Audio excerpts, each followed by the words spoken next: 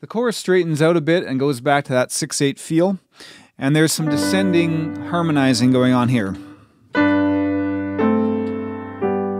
So you have an octave, that third in there. And then over the D minor, which is the minor 5 chord in G major. Now that's not a typical chord that you would use, but in G major,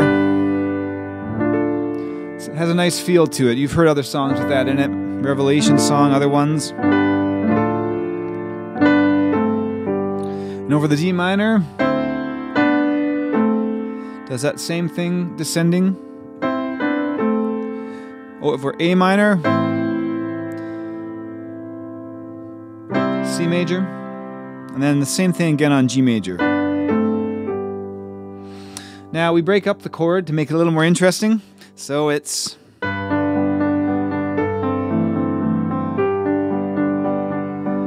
Right hand,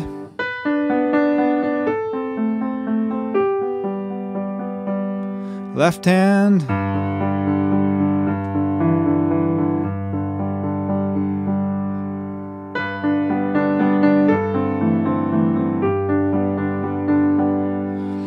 Over the D minor, it's a little bit trickier.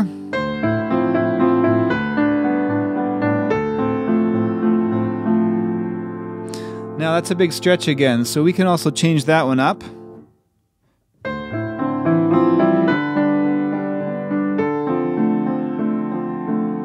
So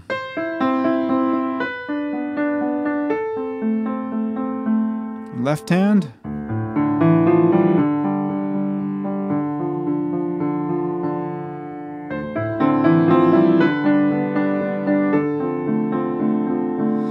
D minor, I think on the album I actually played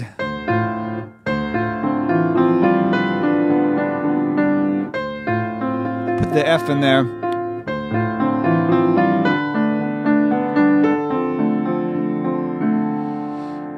Sometimes when you're recording, you uh, make it up. Luckily, when Laila Biali was singing background on that song, she hit that note, even though I was playing that note.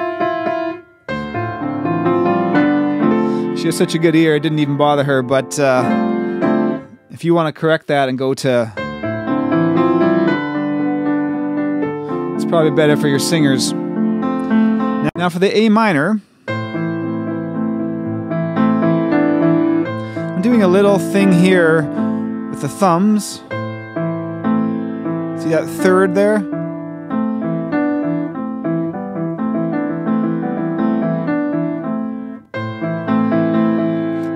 earth rejoice, lifting heart and voice.